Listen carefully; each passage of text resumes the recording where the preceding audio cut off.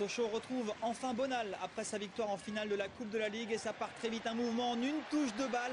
Grande force collective. Fro qui donne en retrait pour Zahiri avec l'aide de deux défenseurs et la frappe de Zahiri est imparable. Un but à zéro. On joue seulement la sixième minute.